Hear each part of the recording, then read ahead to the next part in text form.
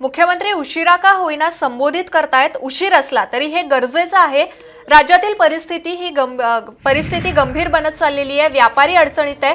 घरी बसा असं सांगून आता चालणार नाही लोकांना काम आणि घर चालवणं गरजेचं असल्याचं देखील समोर आलेलं आहे. चंद्रकांत पाटील यांनी मुख्यमंत्र्यांवर ही टीका केली आहे. पण ते उशिरा का होईना लोकांना संबोधन करतायत हे चांगलंच आहे.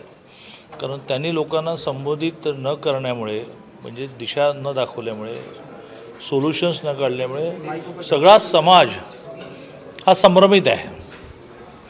त्यामुळे ते उशिरा करतायत की लवकर करतायत?